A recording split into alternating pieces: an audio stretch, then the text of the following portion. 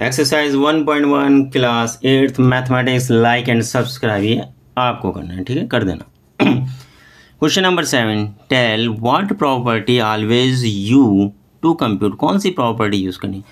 इसकी मल्टीप्लाई इससे हुई इसकी मल्टीप्लाई इससे हुई वन अपॉन थ्री की मल्टीप्लाई किससे हुई six into four by three और एज वन अपॉन थ्री की मल्टीप्लाई फिर सिक्स से करी और फोर यानी वन अपॉन थ्री को मान लो ए मान लो that A is equal to one upon three B is equal to six and C is equal to four by three तो यह कहना चाहते हैं A multiply by B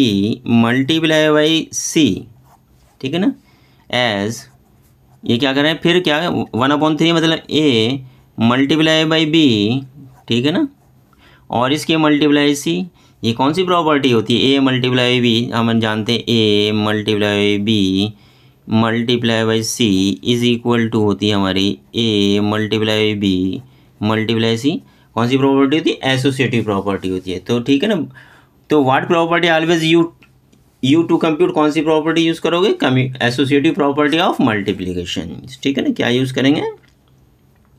associative property use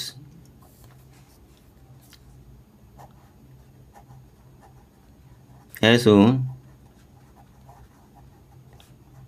associative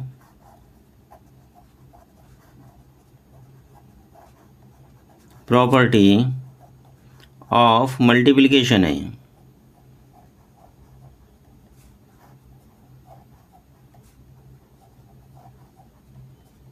Associative property of multiplication, associative property of multiplication as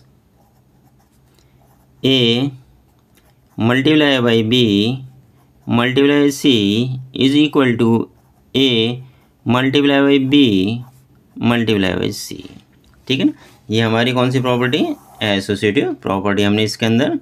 use करिए ठीक है ना कुछ भी नहीं सवाल में ये प्रॉपर्टी का नाम पूछा है कौन सी प्रॉपर्टी हम कंप्यूट करेंगे इसमें हम कौन सी करेंगे एसोसिएटिव प्रॉपर्टी क्योंकि एसोसिएटिव प्रॉपर्टी में क्या होती है हम किसी की किसी से भी मल्टीप्लाई करें वो एसोसिएटिव प्रॉपर्टी ऑफ मल्टीप्लीकेशन होती है एसोसिएटिव प्रॉपर्टी ऑफ एडिशन क्या होती है हम किसी में किसी चीज़ को हम ऐड करें एसोसिएटिव प्रॉपर्टी क्या होती है A